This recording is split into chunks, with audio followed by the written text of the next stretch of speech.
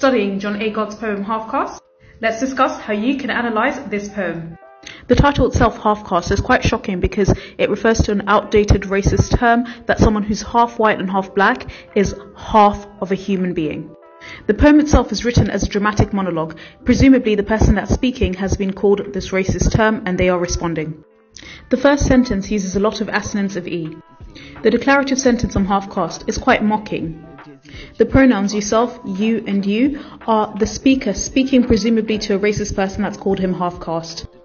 He constantly repeats the term half caste, both to shock us but also to trigger us to wonder what this racist term really means. He then alludes to the noun Picasso. This is the name of a very famous artist.